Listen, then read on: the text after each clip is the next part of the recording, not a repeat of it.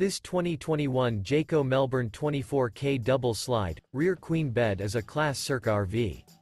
It is located in Williamstown, New Jersey, 08094 and is offered for sale by White Horse RV Center.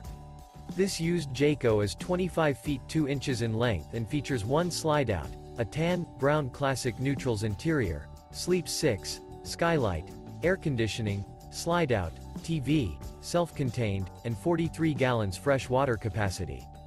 The floor plan layout of this Class C features bunk over cab, mid-kitchen, rear bedroom.